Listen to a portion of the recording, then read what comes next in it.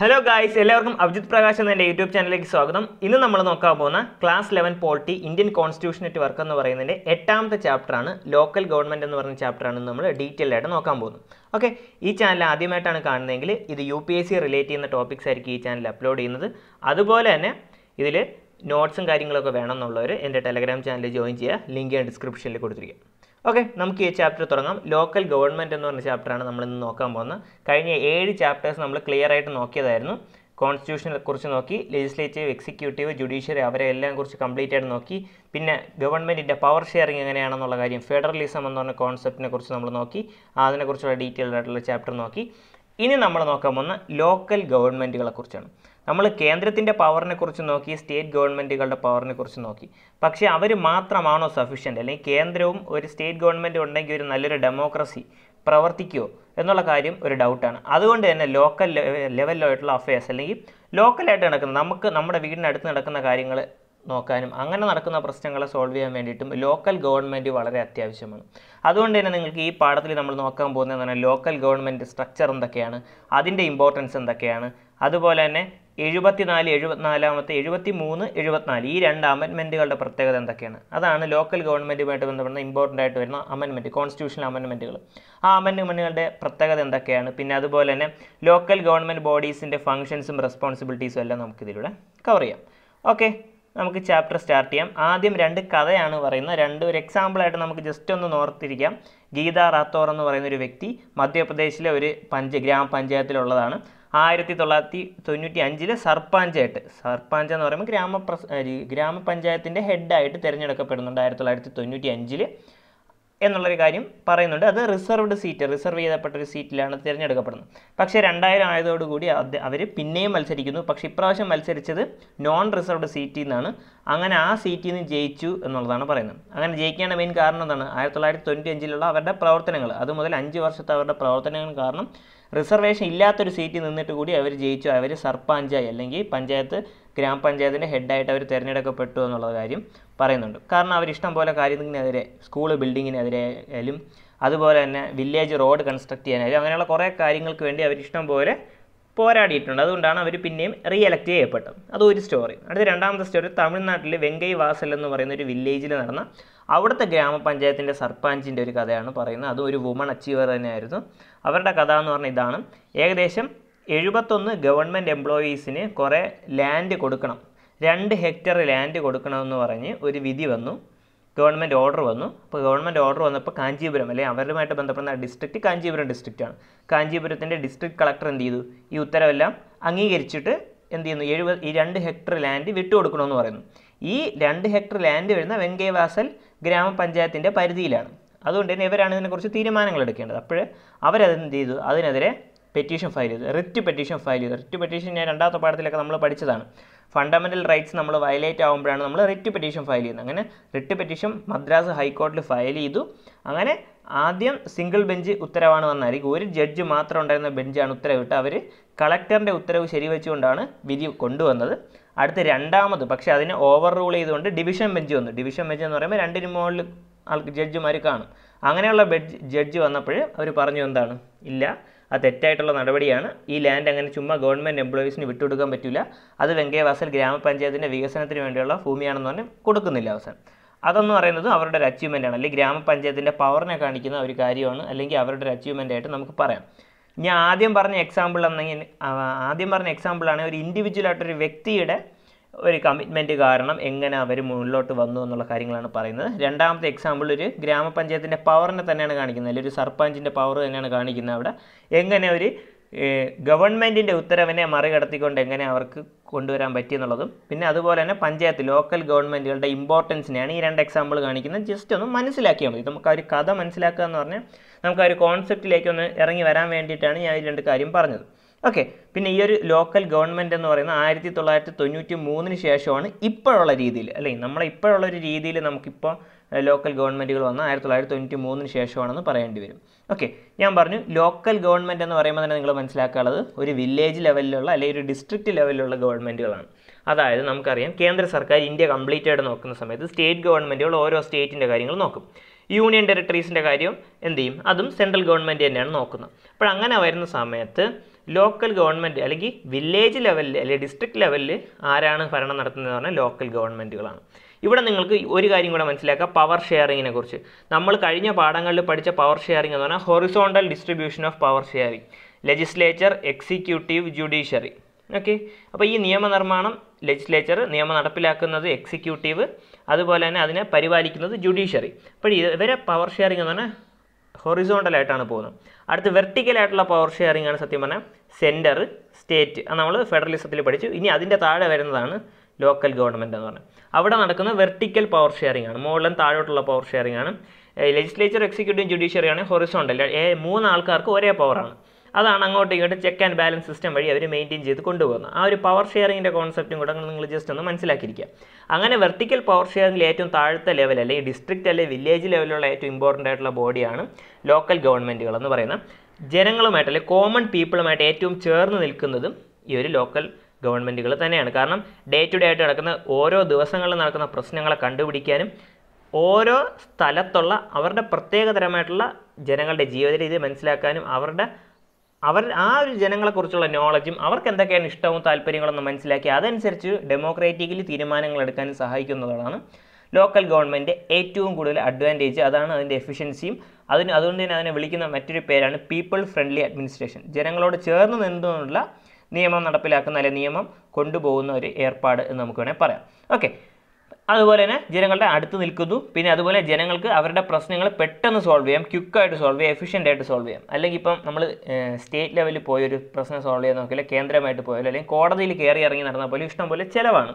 പക്ഷേ ലോക്കൽ ഗവൺമെന്റുകൾക്ക് നമുക്ക് ചെറിയ ചെറിയ പ്രശ്നങ്ങളൊക്കെ പെട്ടെന്ന് തന്നെ സോൾവ് ആക്കാൻ പറ്റുമെന്നുള്ളതാണ് ഓക്കെ അത് മറ്റ് എക്സാമ്പിളുകളും ഞാൻ ആദ്യം പറഞ്ഞ എക്സാമ്പിളുകളുടെ കാര്യവും പറയുന്നുണ്ട്. എങ്ങനെയാണ് ആ ലോക്കൽ ഗവൺമെന്റ് എഫിഷ്യൻസി അവിടെ കാണിക്കുന്നത് കഴിഞ്ഞ രണ്ട് എക്സാമ്പിൾ ഞാൻ നേരത്തെ പറഞ്ഞ നിങ്ങൾ ഓർത്ത് നോക്കിയാൽ മതി.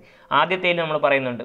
ആദ്യത്തെ പഞ്ചായത്തിൽ ഗീതാ റാത്തോർ എങ്ങനെയാണ് പ്രവർത്തിച്ചത് എങ്ങനെയാണ് മാറ്റങ്ങൾ കൊണ്ടുവന്ന് അവരുടെ ആ ഒരു വില്ലേജിന് ഉന്നമനത്തിന് വേണ്ടി എങ്ങനെ പ്രവർത്തിച്ചെന്നും രണ്ടാമത്തതിൽ ഒരു പ്രോപ്പർട്ടിക്ക് വേണ്ടി പ്രോപ്പർട്ടി എങ്ങനെയാണ് സംരക്ഷിച്ചത് സ്വന്തം പഞ്ചായത്തിന്റെ പ്രോപ്പർട്ടി എങ്ങനെയാണ് സംരക്ഷിച്ചത് എന്നുള്ള കാര്യങ്ങൾ അതിൽ പറയുന്നുണ്ട്. അതെന്ത് ചെയ്യാം? അത് മനസ്സിലാക്കുമ്പോൾ നമുക്ക് കുറേ കാര്യങ്ങൾ ലോക്കൽ ഗവൺമെന്റ് പവറിനെ കുറിച്ചും അതിന്റെ എഫിഷ്യൻസിയെക്കുറിച്ചും അതെങ്ങനെയാണ് ഗ്രാസ് റൂട്ട് ലെവലിൽ നിന്ന് പ്രവർത്തിക്കുന്നത് അല്ലെങ്കിൽ ഏറ്റവും താഴെ നിന്ന് പ്രവർത്തിച്ച് വരുന്നതെന്നുള്ള രണ്ട് എക്സാമ്പിളാണ് നമ്മൾ കണ്ടത്. ഓക്കെ അതുപോലെ തന്നെ ജനാധിപത്യം എന്ന് പറയുക അല്ലെങ്കിൽ ഡെമോക്രസി എന്ന് പറയുമ്പോൾ മീനിങ് പാർട്ടിസിപ്പേഷനാണ് എല്ലാ ജനങ്ങളും അവിടെ പങ്കെടുക്കേണ്ടതുണ്ട് മീനിങ് പാർട്ടിസിപ്പേഷൻ അതുപോലെ തന്നെ അക്കൗണ്ടബിലിറ്റി വേണം അല്ലെങ്കിൽ ഇവർ ചെയ്യുന്ന പ്രവർത്തനങ്ങൾക്കെല്ലാം ഉത്തരവാദികളായിരിക്കണം. ജനങ്ങൾക്ക് അവർ ഉത്തരം പറയേണ്ടവർ തന്നെയാണ്. അപ്പോൾ അങ്ങനെയുള്ളൊരു ഗവൺമെന്റ് ഏറ്റവും അടുത്ത് നിൽക്കുന്ന ഗവൺമെന്റ് തന്നെയാണ് എന്തോ ലോക്കൽ ഗവൺമെന്റ് എന്ന് പറഞ്ഞാൽ സ്ട്രോങ്ങും വൈബ്രന്റും ആയിട്ടുള്ള ലോക്കൽ ഗവൺമെന്റ് ജനങ്ങളുടെ വാക്കുകളെ കണ്ടുപിടിക്കും അല്ലെങ്കിൽ മനസ്സിലാക്കും. അതുപോലെ തന്നെ ജനങ്ങൾക്ക് ഉത്തരം പറയും കറക്റ്റായിട്ട് ഉത്തരം പറയും അല്ലെങ്കിൽ അക്കൗണ്ടബിളും ആയിരിക്കും എന്നുള്ളതാണ്. അപ്പോൾ അങ്ങനെയുള്ള ലോക്കൽ ഗവൺമെന്റുകളാണ് നമുക്ക് ആവശ്യം. ഞാൻ പറഞ്ഞ പോലെ കോമൺ സിറ്റിസൺസിന് വേണ്ടി തീരുമാനം എടുക്കാനുള്ളതാണ്. ആ കാര്യങ്ങൾ തന്നെയാണ് പിന്നെയും പിന്നെ ഇതിൽ റിപ്പീറ്റ് ചെയ്ത് വരുന്ന ഒരു കാര്യമെന്ന് പറയുന്നത്. പിന്നെ അതുപോലെ തന്നെ ഡെമോക്രസിയിൽ സാധനങ്ങളൊക്കെ എന്താണ്? ലോക്കലിയാണ് ചെയ്യുന്ന കാര്യങ്ങളൊക്കെ. ഇപ്പം നമ്മുടെ വീടിന്റെ അടുത്തുള്ള ഒരാൾ തന്നെയായിരിക്കും അവിടുത്തെ മെമ്പർ എന്ന് പറയുന്നത്. അപ്പോൾ പഞ്ചായത്തിന്റെ മെമ്പർ എന്ന് പറയുന്നത്. അപ്പോൾ അദ്ദേഹം പ്രവർത്തിക്കുന്നതൊക്കെ നമുക്ക് പെട്ടെന്ന് അറിയാൻ പറ്റും. അപ്പോൾ നമുക്ക് ചോദിക്കാൻ പറ്റും അദ്ദേഹത്തിന്റെ അടുത്ത്. എന്താണ് നിങ്ങളത് ചെയ്യാത്തത്? നിങ്ങളെന്താ നിങ്ങൾ ചെയ്യേണ്ടതല്ലേ? അപ്പോൾ വീട്ടിന്റെ അടുത്ത് തന്നെ ഒരാൾ പറയുമ്പോൾ അയാൾക്ക് ചെയ്യാതിരിക്കാൻ പറ്റത്തില്ല. അപ്പോൾ അങ്ങനെ ഒരു ഇമോഷണൽ അറ്റാച്ച്മെന്റ് അങ്ങനെ കുറേ കാര്യങ്ങൾ കുറേ ഫാക്ടേഴ്സ് എന്ത് ചെയ്യുന്നുണ്ട്? ലോക്കൽ ഗവൺമെന്റിന്റെ എഫിഷ്യൻസിയെ ബാധിക്കും. അത് സ്ട്രെങ്തൻ ചെയ്യാൻ അത് സഹായിക്കും എന്നുള്ളതാണ്. ഓക്കെ അതാണ് അവിടെ നിങ്ങൾ മനസ്സിലാക്കേണ്ട ഒരു മെയിൻ ആയിട്ടുള്ള പോയിന്റ് ഇനി എങ്ങനെയാണ് അത് ഗ്രോ ചെയ്തതെന്ന് പറയാം. അതായത് ഏർലിയർ ആയിട്ടുള്ള സമയത്ത് അല്ലെങ്കിൽ നമുക്ക് എന്ത് പറയാം സ്വാതന്ത്ര്യത്തിന് മുൻപ് തന്നെ എന്ന് വേണമെങ്കിൽ പറയാം. സ്വാതന്ത്ര്യത്തിന് മുൻപ് തന്നെ ഉണ്ടായിരുന്നു ഇതേപോലത്തെ കാര്യങ്ങൾ. സഭകളുണ്ടായിരുന്നു വില്ലേജ് അസംബ്ലീസ് വില്ലേജ് എല്ലാം കൂടെ ഒരുമിച്ച് കൂടും. ലഗാൻ എന്ന് പറയുന്ന ഒരു സിനിമയുണ്ട് അമീർ ഖാന്റെ. അത് നിങ്ങൾ കണ്ടിട്ടുണ്ടെങ്കിൽ അറിയാം. ആ ഒരു വില്ലേജിന്റെ പ്രശ്നങ്ങൾ അവർ തന്നെ ഒത്തുകൂടി തീരുമാനിച്ചാണ് സോൾവ് ചെയ്യുന്നത്. ഓക്കെ അപ്പോൾ അതേപോലത്തെ സിനിമകളുണ്ട്. അതിലൊക്കെ കറക്റ്റായിട്ട് ആ സഫയെ കാണിക്കും. സഫാസ് പിന്നെ അതുപോലെ തന്നെ പഞ്ചായത്തുകളുണ്ട്. അഞ്ച് പേരടങ്ങുന്ന പഞ്ചായത്തുകൾ. അതാണ് സർപ്പാഞ്ച് എന്നൊക്കെ പറഞ്ഞൊരു വാക്ക് ഞാൻ പറഞ്ഞില്ലേ? ഗ്രാമപഞ്ചായത്തിന് ഹെഡിനെ നമ്മൾ സർപ്പാഞ്ച് എന്ന് വിളിക്കാറുണ്ട്. ഹെഡ് ഓഫ് ഫൈവ് എന്നാണ് പറയുന്നത്. സർപ്പാഞ്ച് ആ ഒരു വാക്കൊക്കെ വന്ന് അവിടെ നിന്നാണ്. പണ്ടത്തെ പഞ്ചായത്തിന്റെ കോൺസെപ്റ്റ് എന്ന് പറഞ്ഞാൽ അഞ്ച് പേരടങ്ങുന്ന ഒരു കൂട്ടം. പാഞ്ച്. അതിന്റെ ഹെഡിനെ സർപ്പാഞ്ച് എന്ന് വിളിക്കും. അപ്പോൾ അങ്ങനെയൊക്കെ ഉണ്ടായിരുന്നു. ഓക്കെ. അപ്പോൾ അങ്ങനെയുള്ള പണ്ടത്തെ പഞ്ചായത്തുകൾ പണ്ട് മുതലേ ഉണ്ടായിരുന്നു. അവരെന്ത് ചെയ്യും? വില്ലേജ് ലെവലിലുള്ള പ്രശ്നങ്ങൾ സോൾവ് ചെയ്യാൻ വേണ്ടിയാണ് പ്രവർത്തിച്ചുകൊണ്ടിരുന്നത് അവരുടെ സ്ട്രക്ചർ പോകുന്ന സമയം പോകുന്ന അനുസരിച്ച് മാറി മാറി വന്നു എന്ന് പറയും. കുറച്ചുകൂടെ മോഡേൺ ടൈംസ് ഒരു ആയിരത്തി എണ്ണൂറ്റി എൺപത്തി രണ്ട് സമയത്താണ് കുറച്ചുകൂടെ മോഡേൺ ആയിട്ട് ബ്രിട്ടീഷ് അഡ്മിനിസ്ട്രേഷൻ അല്ലെങ്കിൽ ബ്രിട്ടീഷ് നമ്മുടെ ഇന്ത്യ ഭരണം നടത്തിയിരുന്ന സമയത്ത് ലോർഡ് റിപ്പൺ എന്ന് പറഞ്ഞ അദ്ദേഹം അദ്ദേഹം ആ സമയത്തുള്ള വൈസ്രോയി ആയിരുന്നു. ഇന്ത്യയുടെ വൈസ്രോയി ആയിരുന്നു അദ്ദേഹം. ആണ് ആദ്യമായിട്ട് ലോക്കൽ ഗവൺമെന്റുകൾക്ക് ഒരു സ്റ്റാൻഡേർഡ് ഇനിഷ്യേറ്റീവ് ലോക്കൽ ബോർഡ് എന്ന് പറഞ്ഞിട്ട് ആദ്യമായിട്ട് തുടങ്ങുന്നത്. പക്ഷേ അത് വളരെ സ്ലോ പ്രോസസ്സ് ആയിരുന്നു. വില്ലേജുകളിലൊന്നും കറക്റ്റായിട്ട് നടന്നിട്ടില്ല. അതുകൊണ്ട് തന്നെ അതിനെ സ്ട്രെങ്തൻ ചെയ്യാൻ വേണ്ടി ഇന്ത്യൻ നാഷണൽ കോൺഗ്രസ് ഇറങ്ങി പ്രവർത്തിക്കുകയാണ് ഉണ്ടായത്. പിന്നെ അതിനെ കൂടുതൽ എഫക്റ്റീവ് ആക്കാൻ വേണ്ടി ആയിരത്തി തൊള്ളായിരത്തി പത്തൊൻപതിലെ Indian act government of India ആക്റ്റിൽ അവരെന്ത് ചെയ്തു ഈ പഞ്ചായത്തുകളെ വില്ലേജ് പഞ്ചായത്തുകളെ കുറേ കൂടെ എഫക്റ്റീവ് ആക്കാൻ നോക്കി. അതുപോലെ തന്നെ ഗവൺമെന്റ് ഓഫ് ഇന്ത്യ ആക്ട് ആയിരത്തി തൊള്ളായിരത്തി മുപ്പത്തഞ്ചിനെയും അതിലും എന്ത് ചെയ്തു ഈ ഒരു ലോക്കൽ ഗവൺമെന്റ് അല്ലെങ്കിൽ വില്ലേജ് ലെവലിലുള്ള ഗവൺമെന്റിനെ കുറേ കൂടെ പവർഫുൾ ആക്കാൻ വേണ്ടി അവർ ശ്രമിച്ചു എന്നുള്ളതാണ്. ഓക്കെ ഇനി അത് കഴിഞ്ഞ് മുപ്പത്തഞ്ചൊക്കെ ശേഷം എന്ത് ചെയ്തു? ഇന്ത്യ ഫ്രീഡം സ്ട്രഗിളിലേക്ക് ആരംഭിച്ചിരിക്കുക ഇന്ത്യ സ്വാതന്ത്ര്യത്തിന് വേണ്ടി പോരാടിക്കൊണ്ടിരിക്കുന്ന സമയത്ത് ഗാന്ധിജി ഇഷ്ടം പോലെ ലോക്കൽ ഗവൺമെന്റുകളെ കുറിച്ച് കുറേ കാര്യങ്ങൾ മഹാത്മാഗാന്ധി പറയുന്നുണ്ട്. അതിൽ ഇമ്പോർട്ടന്റ് ആയിട്ട് പറയുന്നതാണ് ഡീസെൻട്രലൈസേഷൻ എന്ന് പറയുന്ന കോൺസെപ്റ്റ് ഡീസെൻട്രലൈസേഷൻ എക്കണോമിക്കും പൊളിറ്റിക്കൽ പവറിനും വളരെ ഇമ്പോർട്ടന്റ് ആണ് എന്ന് പറയുന്നത്. അതായത് ഞാൻ നിങ്ങൾക്ക് ഫെഡറലിസം എന്ന് പറയുന്ന പാഠം പഠിച്ച പഠിപ്പിച്ചതാണ്. കേന്ദ്രവും അതുപോലെ തന്നെ സ്റ്റേറ്റ് ഗവൺമെന്റും കൂടെ എങ്ങനെയാണ് പവർ ഷെയർ ചെയ്യുന്നുണ്ട്. അങ്ങനെ നമ്മൾ നോക്കിയാൽ പറഞ്ഞാണ് കേന്ദ്രത്തിന് കുറച്ചുകൂടെ പവർ സ്റ്റേറ്റ് ഗവൺമെന്റുകളെക്കാളും ഉണ്ടെന്ന് പറഞ്ഞു. അപ്പോൾ ആ പവർ പവർ ഷെയറിംഗ് എന്ന് പറഞ്ഞാൽ അവിടെ എന്താണ്? സെന്ററിലോട്ടാണ് കൂടുതൽ പോകുന്നത്. അതൊരു സെൻട്രലൈസ്ഡ് ആയിട്ടുള്ളൊരു പവർ ഷെയറിംഗ് ആണ് അവിടെ വരുന്നത്. പക്ഷേ മഹാത്മാഗാന്ധി പറഞ്ഞത് ഡീസെൻട്രലൈസേഷൻ അതായത് കേന്ദ്രത്തിൽ നിന്ന് പവർ സ്റ്റേറ്റ് ഗവൺമെന്റിലേക്കും സ്റ്റേറ്റ് ഗവൺമെന്റിൽ നിന്ന് പവർ ലോക്കൽ ഗവൺമെന്റിലേക്കും പോകണം. ലോക്കൽ ഗവൺമെന്റിന് കുറേ പവർ അങ്ങനെ കിട്ടണം. അവിടെ നിന്ന് ഒഴുകി കൂടുതൽ പവർ എങ്ങോട്ടാണ് പോയുള്ളത് ലോക്കൽ ഗവൺമെന്റിലായിട്ടാണ് പോയുള്ളത് ലോക്കൽ ഗവൺമെന്റിൽ പവർ കോൺസെൻട്രേറ്റ് ചെയ്ത് നിൽക്കുമ്പോഴാണ് അത് ഡീസെൻട്രലൈസേഷൻ ആവുന്നത്. സെന്ററിലോട്ട് നിൽക്കാതെ പവർ അവിടെ താഴെ താഴോട്ട് പവർ വരുമ്പോഴാണ് അവിടെ ഡീസെൻട്രലൈസേഷൻ വരുന്നത്. അങ്ങനെയുള്ള ഡീസെൻട്രലൈസേഷൻ നടന്നു കഴിഞ്ഞാൽ മാത്രമേ എക്കണോമി നമ്മുടെ ജനത്തിന്റെ എക്കണോമി രാജ്യത്തിന്റെ എക്കണോമി അല്ലെങ്കിൽ ഓരോ വില്ലേജുകളുടെ എക്കണോമിയും പൊളിറ്റിക്കൽ പവർ ഇൻക്രീസ് ചെയ്യത്തുള്ളൂ എന്നാണ് പറഞ്ഞത്. അങ്ങനെ മാത്രമേ നമുക്ക് വില്ലേജ് പഞ്ചായത്തുകളെ സ്ട്രെങ്തൻ ചെയ്യാൻ പറ്റൂ. എഫക്റ്റീവ് ആയിട്ടുള്ള ഡീസെൻട്രലൈസേഷൻ വഴി മാത്രമേ ഈ ഒരു വില്ലേജ് പഞ്ചായത്തുകളെ സെൻട്രലൈസ് ചെയ്യാൻ അല്ലെങ്കിൽ എഫക്റ്റീവായിട്ട് കൊണ്ടുപോകാൻ പറ്റുമെന്ന് പറയുന്നുണ്ട്. അതുപോലെ തന്നെ ലോക്കൽ ഇൻവോൾവ്മെന്റ് ഇമ്പോർട്ടൻസിനെ കുറിച്ച് പറയുന്നുണ്ട്. ഈ വില്ലേജ് പഞ്ചായത്തുകൾ നടത്തുന്ന ഡെവലപ്മെന്റ് ഇനിഷ്യേറ്റീവ്സിനൊക്കെ ലോക്കൽ എൻജോ ലോക്കലായിട്ടുള്ള ഇൻവോൾവ്മെന്റുകൾ മസ്റ്റാണ് എന്നിരുന്നാൽ മാത്രമേ അത് സക്സസ്ഫുൾ ആകത്തുള്ളൂ അപ്പോൾ അങ്ങനെയുള്ള ഡീസെൻട്രലൈസേഷൻ അവിടെ വേണം. അതുപോലെ തന്നെ ജനങ്ങൾ പങ്കെടുക്കാൻ വേണം. ഇതാണ് ഗാന്ധി പറഞ്ഞത്. ഡീസെൻട്രലൈസേഷൻ പ്ലസ് പാർട്ടിസിപ്പേറ്ററി ഡെമോക്രസി ഇത് രണ്ടും വന്നു കഴിയുമ്പോൾ എന്ത് ചെയ്യും? നല്ലൊരു ഗവൺമെന്റ് അവിടെ വരുമെന്നുള്ളതാണ്.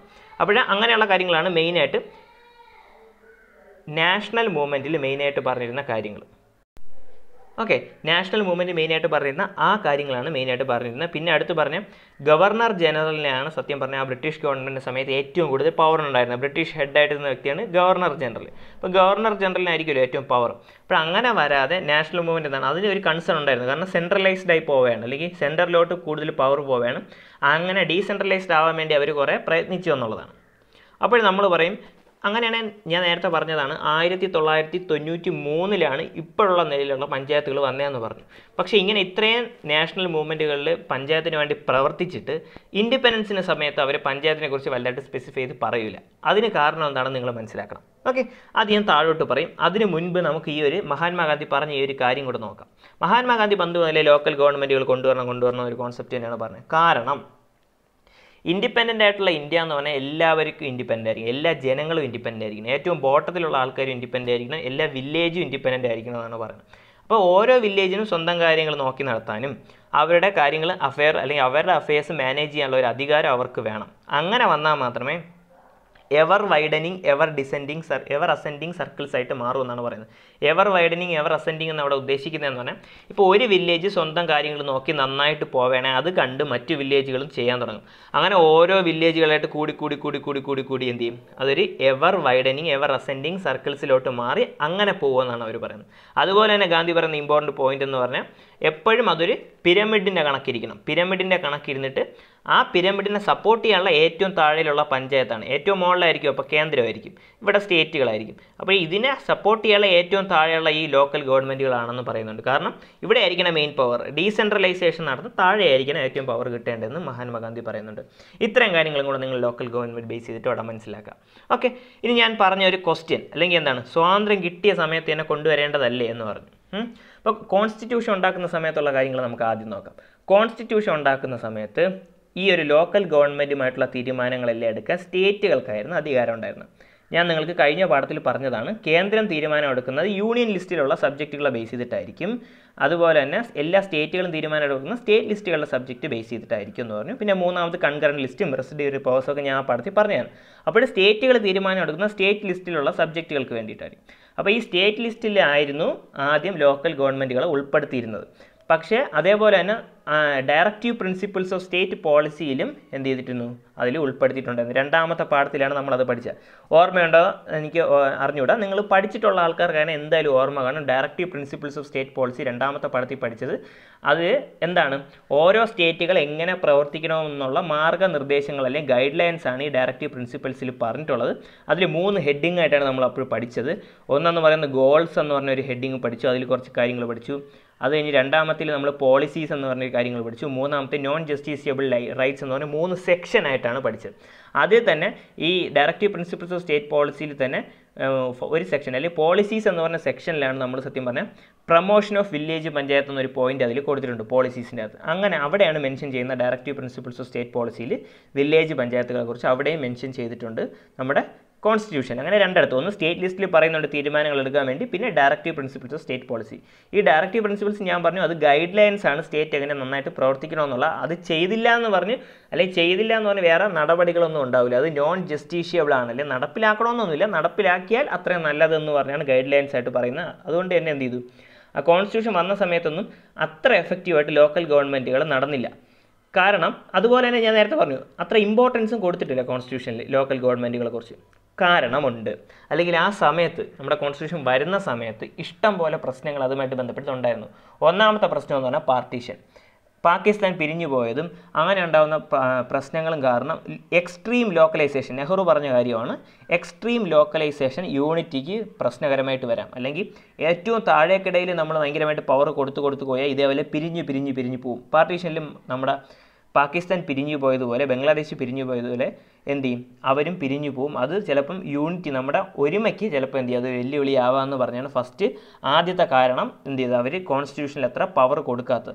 രണ്ടാമത്തെ കാരണം അംബേദ്കർ പറഞ്ഞതാണ്. അംബേദ്കർ പറഞ്ഞതെന്ന് പറഞ്ഞാൽ ഇതേപോലെ പവർ കൊടുത്തു കഴിഞ്ഞാൽ അപ്പോൾ അപ്പർ കാസ്റ്റ് ലോവർ കാസ്റ്റ് എന്ന് പറഞ്ഞ സിസ്റ്റം വളരെ കൂടുതലായിട്ട് നിന്നതുകൊണ്ട് തന്നെ ഈ ഒരു ലോക്കൽ ഗവൺമെന്റുകൾ അപ്പർ കാസ്റ്റ് കൈയടക്കുകയും ഓക്കെ അവരത് കൊണ്ടു നടത്തുകയും പാവപ്പെട്ട ആൾക്കാർക്ക് അവിടെ ഒരു വോയിസ് ഇല്ലാതെ വരികയും ചെയ്യും. ലോവർ കാസ്റ്റിലുള്ള ആൾക്കാർക്ക് വോയിസ് ഇല്ലാതെ വരികയും ചെയ്യും. ഗ്രൂപ്പിസം വരും. അതേപോലത്തെ പ്രശ്നങ്ങളൊക്കെ അതൊരിക്കലും നന്നായിട്ട് നടക്കാൻ പറ്റത്തില്ല എന്നൊരു അഭിപ്രായം ഉണ്ടായിരുന്നു ഈ രണ്ട് അഭിപ്രായങ്ങളാണ് മെയിനായിട്ട് ഉണ്ടായത് കോൺസ്റ്റിറ്റ്യൂഷനിലെ സമയത്ത്. അങ്ങനെ എന്ത് ചെയ്തു? അവർ വലിയ വില കൊടുത്തിരുന്നു. പക്ഷേ അവർ എപ്പോഴും പറഞ്ഞിട്ടുണ്ട് ലോക്കൽ ഗവൺമെന്റുകൾ അല്ലെങ്കിൽ പീപ്പിൾസ് പാർട്ടിസിപ്പേഷന് വളരെ ഇമ്പോർട്ടന്റ് ആണ്. എന്നിരുന്നാൽ മാത്രമേ നന്നായിട്ട് നമുക്ക് ആ ഒരു ഡെമോക്രസി ഡെമോക്രാറ്റിക് ഗവൺമെന്റ് കൊണ്ടുപോകാൻ പറ്റത്തുള്ളൂ എന്ന് എന്നിട്ടും അവർ പറയുന്നുണ്ട്. പക്ഷേ എന്നിട്ടും അവർ ഇമ്പോർട്ടൻസ് കൊടുക്കാത്തതിന് മെയിൻ കാരണം ഇതാണ്. എന്താണ്? എക്സ്ട്രീം ആയിട്ടുള്ള ലോക്കലൈസേഷൻ വന്നു കഴിഞ്ഞാൽ ചിലപ്പോൾ അത് നമ്മുടെ ഒരുമയ്ക്ക് വെല്ലുവിളിയാവും. അതുപോലെ തന്നെ ഗവൺമെന്റ് അവർക്ക് പവർ കിട്ടിക്കഴിഞ്ഞാൽ അപ്പർ കാസ്റ്റുകൾ അത് പിടിച്ചെടുക്കാൻ ചാൻസ് ഉണ്ട്. അതേപോലത്തെ പ്രശ്നങ്ങളാണ് അവർ മെയിനായിട്ട് ഉയർത്തിയിരുന്നത്. ഓക്കെ അതുപോലെ തന്നെ പറയുന്നുണ്ട് പിന്നെന്താണ്? ഈ ഒരു കോൺസ്റ്റന്റ് അസംബ്ലി ഡിബേറ്റുകളുടെ ഒരു കാര്യവും പറയുന്നു. ഡിബേറ്റിൽ അയ്യങ്കാർ പറഞ്ഞൊരു കാര്യം. അതായത് കോൺസ്റ്റന്റ് അസംബ്ലി സമയത്ത് ഇഷ്ടം പോലെ ഡിബേറ്റുകൾ നടക്കുമല്ലോ. അപ്പോഴല്ലേ തീരുമാനിക്കുന്നത് എങ്ങനെയൊക്കെയുള്ള പവറാണ് കോൺസ്റ്റിറ്റ്യൂഷനിൽ കൊടുക്കേണ്ടതെന്നും അതുപോലെ തന്നെ എങ്ങനെ ഭരണം നമ്മളിവിടെ ഇന്ത്യ നടത്തണമെന്നുള്ള തീരുമാനങ്ങൾ അവിടെ എടുക്കുന്നത്. അപ്പോൾ അവർ പറഞ്ഞ അയ്യങ്കാർ പറഞ്ഞൊരു കാര്യം എന്ന് പറഞ്ഞാൽ ഡെമോക്രസിയുടെ ഇൻട്രസ്റ്റിൽ നിന്നാണ് എപ്പോഴും സെൽഫ് ഗവൺമെന്റുകൾ വരേണ്ടതുണ്ട്. അല്ലെങ്കിൽ ലോക്കൽ ഗവൺമെന്റുകൾ കൊണ്ടുവരേണ്ടതുണ്ട്. അവർക്ക് ഓട്ടോണോമി വില്ലേജുകൾക്ക് കൊടുക്കേണ്ടതുണ്ട്. അല്ലെങ്കിൽ വില്ലേജുകൾക്ക് പ്രവർത്തിക്കാനുള്ള പവർ കൊടുക്കേണ്ടതുണ്ട്. എന്നാൽ മാത്രമേ നമുക്ക് നന്നായിട്ട് ഡെമോക്രാറ്റിക് പ്രിൻസിപ്പിൾസ് കൊണ്ടുപോകാൻ പറ്റുമെന്ന് അദ്ദേഹം ഒരു അഭിപ്രായം വെച്ചതാണ്. ഓക്കെ പക്ഷെ എന്നിട്ട് പോലും ഭയങ്കരമായിട്ട് വന്നില്ല. എന്നാൽ പോലും അവർ കൊടുത്തു. ഡി പി എസ് പിയിലും അല്ലെ ഡയറക്റ്റീവ് പ്രിൻസിപ്പിൾ ഓഫ് സ്റ്റേറ്റ് പോളിസിയിലും അതുപോലെ തന്നെ സ്റ്റേറ്റ് ലിസ്റ്റിൽ അവർ കൊണ്ടുവന്നു. ഇത് നടപ്പിലാക്കണമെന്നുള്ള പക്ഷേ ഭയങ്കരമായിട്ടുള്ള ഇമ്പോർട്ടൻസ് കൊടുത്തില്ല എന്ന് മനസ്സിലാക്കുക. ഇങ്ങനെയുള്ള പാർട്ടീഷന്റെ പ്രശ്നങ്ങളും അതുപോലത്തെ കാസ്റ്റിന്റെ ഇഷ്യൂസും കാരണം. ഓക്കെ ഇനി എപ്പോഴാണ് ഈ ഒരു നിലയിൽ അല്ലെങ്കിൽ എപ്പോഴും നമുക്ക് ലോക്കൽ ഗവൺമെന്റുകളുള്ള നിലയിലേക്ക് മാറിയത് എന്ന് ചോദിച്ചാൽ എഴുപത്തി മൂന്നാമത്തെയും എഴുപത്തി നാലാമത്തെയും കോൺസ്റ്റിറ്റ്യൂഷണൽ അമെൻമെന്റുകൾക്ക് ശേഷമാണ്. ആ ഒരു കോൺസ്റ്റിറ്റ്യൂഷണൽ അമെൻമെന്റ് വന്നതിന് ശേഷം അല്ലെങ്കിൽ അതാണ് ആ ഒരു ബൂസ്റ്റ് കൊടുത്ത ഫിലിപ്പ് തന്നെ ബൂസ്റ്റപ്പ് ചെയ്ത് കൊണ്ടുവന്നത്. ഈ ഒരു നിലയിൽ ബൂസ്റ്റപ്പ് ചെയ്ത് കൊണ്ടുവന്ന എഴുപത്തി മൂന്ന് എഴുപത്തിനാലാമത്തെ അമെൻമെന്റ് ആക്റ്റുകളാണ് അതിനു മുൻപെന്ന് പറഞ്ഞാൽ ലോക്കൽ ഗവൺമെന്റുകൾ ഉണ്ടായിരുന്നു. അതായത് ആയിരത്തി തൊള്ളായിരത്തി അൻപത്തി രണ്ടിൽ തന്നെ കമ്മ്യൂണിറ്റി ഡെവലപ്മെന്റ് പ്രോഗ്രാം എന്ന് പറയുന്ന പ്രോഗ്രാം തുടങ്ങി ആയിരത്തി തൊള്ളായിരത്തി അൻപത്തി രണ്ടിൽ അതിന്റെ ഭാഗമായിട്ട് എല്ലാ സ്റ്റേറ്റുകളിലും എന്ത് ചെയ്തിരുന്നു? ഇങ്ങനെ നടത്തിയിരുന്നു. മൂന്ന് ടയർ സിസ്റ്റം മൂന്ന് തരത്തിലുള്ള ലോക്കൽ ഗവൺമെന്റ് സിസ്റ്റം അവർ കൊണ്ടുവന്നിരുന്നു. അതിൽ തന്നെ റൂറൽ ഏരിയാസിൽ വില്ലേജ് ഏരിയാസിൽ ഗുജറാത്ത് മഹാരാഷ്ട്രയൊക്കെ എന്ത് ചെയ്തു? ലോക്കൽ എലക്ഷൻസ് ആയിരത്തി തൊള്ളായിരത്തി അറുപതിൽ നടത്തി. പിന്നെ ചില സ്റ്റേറ്റുകൾക്ക് എന്ത് ചെയ്തു? അവിടെ ഇനഫ് പവേഴ്സ് ഒന്നും ഇല്ലായിരുന്നു അവിടുത്തെ ലോക്കൽ ബോഡീസിന് അവർക്ക് മാറ്റങ്ങൾ കൊണ്ടുവരാനുള്ള പവർ ഇല്ല അധികാരമില്ല അങ്ങനെ ആയിപ്പോയി. പിന്നെ ഫണ്ടുകൾക്ക് വേണ്ടി സ്റ്റേറ്റ് ഗവൺമെന്റില്ല സെൻട്രൽ ഗവൺമെന്റില്ല ഭയങ്കരമായിട്ട് താഴ്ന്ന് നിൽക്കേണ്ട ഒരു അവസ്ഥ വന്നു. അപ്പോൾ അങ്ങനെ അവർക്ക് പവേഴ്സ് ഇല്ലാത്തൊരവസ്ഥയായി. പിന്നെ ചില സ്റ്റേറ്റുകൾ തീരുമാനിച്ചു. എന്തിനാണ് വെറുതെ ഇങ്ങനെ തുടങ്ങുന്നത്? ഒന്നാമത് പവർ ഒന്നുമില്ല പിന്നെ വെറുതെ എന്തിനാണ് തുടങ്ങുന്നതെന്ന് തീരുമാനിച്ച് കുറേ തുടങ്ങിയിട്ടില്ല. തുടങ്ങിയ കുറേ ഗവൺമെന്റുകൾ ഡിസോൾവ് ചെയ്തു. ഡിസോൾവ് ചെയ്ത് തന്നെ പിന്നെ സ്റ്റേറ്റ് ഗവൺമെന്റ് കീഴിലാക്കി. പിന്നെ ചില സ്റ്റേറ്റുകളൊക്കെ ഇൻഡയറക്റ്റ് ഇലക്ഷൻസ് നടത്തി. ഡയറക്റ്റ് ഇലക്ഷൻസ് എന്ന് പറയുമ്പോൾ ജനങ്ങൾ സെലക്ട് ചെയ്യുമ്പോഴാണ് ഇൻഡയ ഡയറക്റ്റ് ഇലക്ഷൻസ് ആവുന്നത്. ജനങ്ങൾ സെലക്ട് ചെയ്ത മറ്റ് രീതിയിൽ കൂടെയുള്ള ഇലക്ഷൻസ് ആണ് ഇൻഡയറക്റ്റ് ഇലക്ഷൻസ് ചില സ്റ്റേറ്റുകൾ ആ സമയത്ത് ലോക്കൽ ഗവൺമെന്റിനെ സെലക്ട് ചെയ്യാൻ വേണ്ടി ഇൻഡയറക്റ്റ് ഇലക്ഷൻസ് നടത്തി. പിന്നെ അതുപോലെ തന്നെ ചില സ്റ്റേറ്റുകളാണ് ഇലക്ഷൻസ് നടത്താമെന്ന് പറഞ്ഞ സമയം മാറ്റി മാറ്റി കൊണ്ടുപോയി. അപ്പോൾ അങ്ങനെയൊക്കെ കറക്റ്റായിട്ടുള്ളൊരു സിസ്റ്റമാറ്റിക് ആയിട്ടുള്ള രീതിയിൽ നടക്കേണ്ട രീതിയിൽ അവർക്ക് പവറുകൾ കൊടുത്തുകൊണ്ട് ഒരിക്കലും നടത്തിയിട്ടില്ല ആ ഒരു സമയത്ത്. ആയിരത്തി തൊള്ളായിരത്തി അൻപത്തിരണ്ടിൽ വന്ന കമ്മ്യൂണിറ്റി ഡെവലപ്മെന്റ് പ്രോഗ്രാമിന്റെ ഭാഗമായിട്ട് നടന്ന റീഫോംസിലൊന്നും വലിയ മാറ്റങ്ങളൊന്നും വരാൻ പറ്റിയിട്ടില്ല. എന്നിട്ട് ആയിരത്തി തൊള്ളായിരത്തി എൺപത്തി ഏഴിലാണ് സത്യം പറഞ്ഞാൽ ഇതിനെക്കുറിച്ചുള്ള പഠനങ്ങൾ തുടങ്ങുന്നത്. നമുക്കൊരു ലോക്കൽ ഗവൺമെന്റ് സ്ട്രോങ് ആയിട്ടുള്ള ലോക്കൽ ഗവൺമെന്റ് വേണം അതിന്റെ റിവ്യൂ ഒക്കെ നടത്തുന്നത്. ആയിരത്തി തൊള്ളായിരത്തി എൺപത്തി ഒൻപതിൽ പി കെ തുങ്ക്യോൻ കമ്മിറ്റി എന്ന് പറയുന്ന ഒരു കമ്മിറ്റി തുങ്കോൻ കമ്മിറ്റി കൊണ്ടുവരുന്നു. ആ കമ്മിറ്റിയുടെ റെക്കമെൻഡേഷൻസ് ആണ് പിന്നെ വരുന്നത്. അവർ പറയുന്നുണ്ട് എന്താണ് റെക്കഗ്നൈസ് ചെയ്യണം. അല്ലെങ്കിൽ ലോക്കൽ ഗവൺമെന്റ് ബോഡീസ് കോൺസ്റ്റിറ്റ്യൂഷനിൽ റെക്കഗ്നൈസ് ചെയ്യപ്പെടേണ്ടതാണ്. പറയുന്നതാണ്. സ്റ്റേറ്റ് ലിസ്റ്റിൽ പറയുന്നൊരു സബ്ജക്റ്റുമാണ് അതുപോലെ ഡി പി എസ് പിയിൽ പറയുന്നൊരു സബ് കാര്യമാണ് അതുകൊണ്ട് തന്നെ അതിനെ റെക്കഗ്നൈസ് ചെയ്യണം. അതിനെ മനസ്സിലാക്കണം. അങ്ങനെ അതുകൊണ്ട് തന്നെ പീരിയോഡിക് ആയിട്ടുള്ള സമയാസമയങ്ങളിൽ ഇലക്ഷൻസ് നടത്തി ലോക്കൽ ഗവൺമെന്റ് സ്ട്രോങ് ആയിട്ട് കൊണ്ടുപോകണം. ജനങ്ങളുടെ കാര്യങ്ങൾ കൊണ്ടുപോകണം. അവർക്ക് വേണ്ടി ഫംഗ്ഷൻസ് സ്വയം പ്രവർത്തിക്കാൻ വേണ്ടി ആ വില്ലേജിന്റെ അകത്ത് തന്നെ പ്രവർത്തിക്കാൻ വേണ്ടിയുള്ള ഫംഗ്ഷൻസ് കൊടുക്കണം. ഫണ്ട് അനുവദിക്കണം എന്നുള്ള കാര്യങ്ങളൊക്കെ പി കെ തുങ്കിയൻ കമ്മിറ്റിയിൽ പിന്നെ പറയണ്ടായി റെക്കമെൻഡ് ചെയ്യണ്ടായി ഓക്കെ അതനുസരിച്ചിട്ടാണ് പിന്നെ അമെൻമെന്റുകൾ നടക്കുന്നത് എഴുപത്തി മൂന്നാമത്തെ എഴുപത്തി നാലാമത്തെ അമെൻമെന്റ് ആയിരത്തി തൊള്ളായിരത്തി എൺപത്തി ഒൻപതിലാണ് ഇത് ആദ്യമായിട്ട് ഈ രണ്ട് അമെൻമെന്റുകളും കൊണ്ടുവരുന്നത്. ലോക്കൽ ഗവൺമെന്റുകളെ സ്ട്രെങ്തൻ ചെയ്യാൻ തുടങ്ങാനല്ല തുടങ്ങിയത് എപ്പോഴാണ് ആയിരത്തി തൊള്ളായിരത്തി അൻപത്തിരണ്ടിൽ കമ്മ്യൂണിറ്റി ഡെവലപ്മെന്റ് പ്രോഗ്രാം വഴിയാണ് തുടങ്ങുന്നത്. അതിന് അങ്ങനെ തുടങ്ങിയ പ്രോഗ്രാമിനെ സ്ട്രെങ്തൻ ചെയ്യാൻ വേണ്ടിയിട്ടാണ് എഴുപത്തി മൂന്നാമത്തെ എഴുപത്തിനാലത്തെ അമെൻമെന്റ് കൊണ്ടുവരുന്നത്. അങ്ങനെ സ്ട്രെങ്തൻ ചെയ്യുക എന്നുള്ള ഒരു എയിമായിരുന്നു രണ്ടാമത്തെ എയിം എന്ന് പറഞ്ഞാൽ യൂണിഫോമിറ്റി എല്ലാ സംസ്ഥാനങ്ങളും ഒരേ രീതിയിലുള്ള ഒരേ അടിസ്ഥാനത്തിലുള്ള ലോക്കൽ ഗവൺമെന്റുകളെ കൊണ്ടുവന്ന് ഒരുമയോടെ കൊണ്ടുപോകുക എന്നുള്ളൊരു കാര്യം കൂടെ ഉണ്ടായിരുന്നു. അങ്ങനെയാണ് അവർ എഴുപത്തി മൂന്ന് എഴുപത്തിനാലും ആദ്യം കൊണ്ടുവരുന്നത് അമെൻമെന്റുകൾ കൊണ്ടുവരുന്നത്. ഓക്കെ ഇനി നമുക്ക് ബ്രസീലിന്റെ ഒരു എക്സാമ്പിൾ നോട്ട് നോക്കാം. അല്ലെങ്കിൽ ബ്രസീലിലെ ലോക്കൽ ഗവൺമെന്റ് എങ്ങനെയാണെന്ന് നോക്കാം. ബ്രസീൽ എന്ന് പറഞ്ഞാൽ അവർ മൂന്ന് രീതിയിൽ ക്രിയേറ്റ് ചെയ്തിരുന്നു. അതായത് അവർക്ക് ബ്രസീലിനെ സ്റ്റേറ്റുകളായിട്ട് ഡിവൈഡ് ചെയ്തു. ആ സ്റ്റേറ്റിന്റെ അകത്ത് തന്നെ ഫെഡറൽ ഡിസ്ട്രിക്റ്റ് ഉണ്ടായിരുന്നു മുനിസിപ്പൽ കൗൺസിലുകളുണ്ടായിരുന്നു ഇവർക്ക് എല്ലാവർക്കും സ്വന്തമായിട്ടുള്ള ഒരു പവറുകളും അവർക്ക് പ്രവർത്തിക്കാനുള്ള ഏരിയ ഉണ്ടായിരുന്നു. ജൂറിസ്ഡിക്ഷൻ അല്ലെങ്കിൽ അവരുടെ പ്രവർത്തന മേഖലയും ഉണ്ടായിരുന്നു എന്നുള്ളത് മനസ്സിലാക്കുക അതുപോലെ തന്നെ റിപ്പബ്ലിക്കിന് അല്ലെങ്കിൽ കേന്ദ്രത്തിന് ഒരിക്കലും സ്റ്റേറ്റുകളുടെ കാര്യത്തിൽ ഇടപെടാൻ പറ്റത്തില്ല. അതുപോലെ തന്നെ സ്റ്റേറ്റിന് ഒരിക്കലും മുനിസിപ്പൽ കൗൺസിലുകളുടെ അല്ലെങ്കിൽ ഫെഡറൽ ഡിസ്ട്രിക്ട് മുനിസിപ്പൽ കൗൺസിലുകളുടെ കാര്യത്തിൽ തീരുമാനിക്കാൻ പറ്റത്തില്ല. എല്ലാവർക്കും ഇൻഡിപെൻഡന്റ് ആയിട്ടുള്ള ഒരു പ്രവർത്തന മേഖല ഉണ്ടായിരുന്നെന്ന് മനസ്സിലാക്കുക. ഓക്കെ അതാണ് ബ്രസീലിലെ എക്സാമ്പിൾ അത് ഒരു സക്സസ്ഫുൾ ആയിട്ടുള്ള ഒരു ലോക്കൽ ഗവൺമെന്റ് സ്ട്രക്ചറിന്റെ ഒരു എക്സാമ്പിളാണ് ഇനി നമുക്ക് നമുക്ക് നോക്കാം. നമുക്ക് നമ്മളെ ബാക്കി നോക്കാം. ഇന്ത്യയുടെ ബാക്കി എവിടെയായിരുന്നു നമ്മൾ നിർത്തി വെച്ചാൽ എഴുപത്തി മൂന്ന് എഴുപത്തിനാലത്തെ അമെൻമെന്റ് ആയിരത്തി തൊള്ളായിരത്തി എൺപത്തി ഒൻപതിൽ കൊണ്ടുവന്നു ലോക്കൽ ഗവൺമെന്റുകളെ സ്ട്രെങ്തൻ ചെയ്യാനും ഒരു യൂണിഫോം ആയിട്ട് കൊണ്ടുപോകാൻ അല്ലെങ്കിൽ യൂണിഫോമിറ്റി എല്ലാ സംസ്ഥാനങ്ങളിലും കൊണ്ടുവരാൻ വേണ്ടിയിട്ട്. പിന്നെ ആയിരത്തി തൊള്ളായിരത്തി എൺപത്തി ഒമ്പതിൽ വന്നത് പിന്നീട് ആയിരത്തി തൊള്ളായിരത്തി തൊണ്ണൂറ്റി രണ്ടിലാണ് പാസ്സാവുന്നത് മനസ്സിലാക്കുക? ആയിരത്തി തൊള്ളായിരത്തി എൺപത്തി ഒമ്പതിൽ വന്നു. ആയിരത്തി തൊള്ളായിരത്തി തൊണ്ണൂറ്റി രണ്ടിലാണ് അത് പാസ്സാവുന്നത് അതിൽ എഴുപത്തി മൂന്നാമത്തെ അമെൻമെന്റ് എന്ന് പറയുന്ന റൂറൽ ലോക്കൽ ഗവൺമെന്റുകളെ ആണ് ടാർഗറ്റ് ചെയ്യുന്നത്. എന്ന് പറഞ്ഞാൽ വില്ലേജ് ഏരിയാസിനെയാണ് ടാർഗറ്റ് ചെയ്യുന്നത്. അതിനെ പഞ്ചായത്ത് രാജ് ഇൻസ്റ്റിറ്റ്യൂഷൻസ് അഥവാ പി ആർ ഐസ് എന്ന് പറയും. വില്ലേജ് ഏരിയാസിനെയാണ് എഴുപത്തി മൂന്നാമത്തെ അമെൻമെന്റ് ടാർഗറ്റ് ചെയ്യുന്നതെങ്കിൽ എഴുപത്തി നാലാമത്തെ അമെൻമെന്റ് ടാർഗറ്റ് ചെയ്യുന്നത് urban local government city areas അല്ലെ അർബൻ ലോക്കൽ ബോഡീസിനെയാണ് അതിനെ നാഗർ പല്ലിക്കാസ് എന്നും ഇതിനെ വിളിക്കാറുണ്ട്. പിന്നെ ഈ ഒരു കാര്യം ആയിരത്തി തൊള്ളായിരത്തി രണ്ടിൽ പാസ്സായത് നിലവിൽ വരുന്ന എപ്പോഴാണ്? ഫോഴ്സിൽ വരുന്നത് ആയിരത്തി തൊള്ളായിരത്തി തൊണ്ണൂറ്റി മൂന്നിലാണ് പിന്നെ ഒരു വർഷത്തിന് ശേഷമാണ്. ഓക്കെ അങ്ങനെ ആയിരത്തി തൊള്ളായിരത്തി തൊണ്ണൂറ്റി മൂന്നിൽ എഴുപത്തി മൂന്ന് എഴുപത്തിനാലാമത്തെ അമെൻമെന്റ് നിലവിൽ വരെയാണ് ലോക്കൽ ഗവൺമെന്റുകൾ ഒന്നുകൂടെ സ്ട്രെങ്തൻ ചെയ്ത് വരികയാണ് അപ്പോൾ എന്തൊക്കെയാണ് മാറ്റങ്ങൾ? നേരത്തെ എന്തായിരുന്നു? സ്റ്റേറ്റ് ലിസ്റ്റിന്റെ ഭാഗമായിട്ടാണ് അല്ലെങ്കിൽ സ്റ്റേറ്റ് സബ്ജക്റ്റിന്റെ ഭാഗമായിട്ടായിരുന്നു എന്തുണ്ടായിരുന്നത്? ഈ ലോക്കൽ ഗവൺമെന്റുകൾ ഉണ്ടായിരുന്നത് ഇനി അതിൽ നിന്ന് മാറ്റണം. കാരണം എഴുപത്തി മൂന്ന് എഴുപത്തിനാലിലും കുറേ കാര്യങ്ങൾ പറയുന്നുണ്ട്. അതിൽ നിന്ന് മാറ്റണം. അവർക്ക് സ്വന്തം സ്വന്തമായിട്ടുള്ള പ്രവർത്തന മേഖല കൊണ്ടുവരണം. അതുകൊണ്ട് സ്റ്റേറ്റിന്റെ കീഴിൽ ഒരിക്കലും അവർക്ക് ഇനി പ്രവർത്തിക്കാൻ പറ്റില്ല. അതുകൊണ്ട് എന്ത് ചെയ്യും? ആ സ്റ്റേറ്റ് ലിസ്റ്റ് ലിസ്റ്റിൽ നിന്ന് മാറ്റി സെപ്പറേറ്റ് ആയിട്ടുള്ള മാറ്റങ്ങൾ വരുത്താൻ വേണ്ടി എല്ലാ സംസ്ഥാനങ്ങൾക്കും ഒരു വർഷത്തെ സമയം അനുവദിച്ചു കൊടുത്തു. ഒരു വർഷത്തെ സമയം അനുവദിച്ചു കൊടുത്ത് നിയമങ്ങളിൽ മാറ്റം വരുത്തി അവരെ സെപ്പറേറ്റ് ചെയ്യാനുള്ള ഒരു കാര്യം കൂടെ അവർ പറഞ്ഞു. അങ്ങനെ അവർക്ക് സെപ്പറേറ്റ് ആയിട്ടുള്ള ഒരു പ്രവർത്തന മേഖലയും കൂടെ വന്നു എന്ന് മനസ്സിലാക്കാം. ഇനി നമുക്ക് ഓരോ അമെൻമെന്റ് എഴുപത്തി മൂന്നാമത്തെ അമെൻമെന്റ് എന്താണെന്ന് ഡീറ്റെയിൽഡ് ആയിട്ട് നോക്കാം. അതുപോലെ തന്നെ എഴുപത്തി നാലാമത്തെ അമെൻമെന്റ് എന്താണെന്ന് ഡീറ്റെയിൽഡ് ആയിട്ട് നോക്കാം. ആദ്യം എഴുപത്തി മൂന്നാമത്തെ അമെൻമെന്റ് എന്ന് പറഞ്ഞാൽ ഞാൻ പറഞ്ഞു. അത് ഗ്രാമപഞ്ചായത്ത് അല്ലെ വില്ലേജ് ഏരിയാസിലാണ് എഴുപത്തി മൂന്നാമത്തെ അമെൻമെന്റ് കൊണ്ടുവന്നിരിക്കുന്നത്. ഇവിടെയും ഒരു ത്രീ ടയർ സ്ട്രക്ചറാണ് ഫോളോ ചെയ്യുന്നത്. മൂന്ന് ലെയർ ആയിട്ടായിരിക്കും അല്ലെ മൂന്ന് രീതിയിലായിരിക്കും പവർ ഡിസ്ട്രിബ്യൂഷൻ നടക്കുന്നതെന്ന് മനസ്സിലാക്കുക. അതിൽ ഏറ്റവും താഴെ വരുന്നത് എന്ന് പറഞ്ഞാൽ മൂന്ന് മൂന്ന് ലെയർ ഉള്ളതിൽ ഏറ്റവും താഴത്തെ ലെയർ എന്ന് പറഞ്ഞാൽ ഗ്രാമപഞ്ചായത്താണെന്ന് മനസ്സിലാക്കുക. ഗ്രാമപഞ്ചായത്താണ്. ഗ്രാമപഞ്ചായത്തിന്റെ മുകളിലുള്ളത് ബ്ലോക്ക് പഞ്ചായത്തുകൾ അല്ലെങ്കിൽ എന്താണ് മണ്ഡലം എന്ന് വിളിക്കാൻ പറ്റും ബ്ലോക്ക് പഞ്ചായത്തുകൾ. അതിന്റെ മുകളിൽ വരുന്ന ജില്ലാ പഞ്ചായത്തുകൾ. Z I L L A. ജില്ല ജില്ല നമുക്ക് വായിക്കാം. ജില്ലാ പഞ്ചായത്ത് എന്ന് പറയാം ജില്ല ജില്ലാ പഞ്ചായത്ത് എന്ന് പറയാം ജില്ലാ പഞ്ചായത്ത്. നമ്മൾ ജില്ലാ പഞ്ചായത്ത് എന്ന് പറഞ്ഞാൽ അതാണ് ഏറ്റവും മുകളിൽ നിൽക്കുന്ന മൂന്നാമത്തെ ടയറിൽ ഏറ്റവും മുകളിൽ നിൽക്കുന്ന ജില്ലാ പഞ്ചായത്തുകളുണ്ടെന്ന് പറയും ഇങ്ങനെ മൂന്ന് തരത്തിലാണ് എഴുപത്തി മൂന്നാമത്തെ അമെൻമെന്റ് ബേസ് ചെയ്തിട്ട് നമ്മളെ വില്ലേജ് ഏരിയാസിലുള്ളത് ആദ്യം പഞ്ചായത്ത് ഗ്രാമപഞ്ചായത്ത് അതിന് മുകളിൽ മണ്ഡൽ അല്ലെങ്കിൽ താലൂക്ക് അല്ലെങ്കിൽ ബ്ലോക്ക് അതിന് മുകളിൽ ജില്ലാ പഞ്ചായത്ത്. ഇങ്ങനെ മൂന്ന് തരത്തിലാണ് ലെയറായിട്ടാണ് ഉള്ളത്. അതുപോലെ തന്നെ അതിന്റെ കൂടെ ചേർന്ന് പ്രവർത്തിക്കുന്ന എന്താണ്?